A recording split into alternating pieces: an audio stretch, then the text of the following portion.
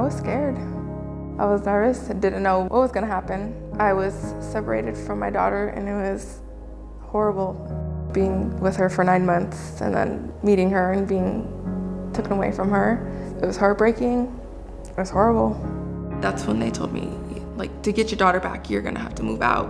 Leaving me homeless, nowhere to go. My emotions were everywhere. I almost had a feeling like I just wanted to give up. I didn't know what I was gonna do. Safety is number one. Nobody wants to not be safe.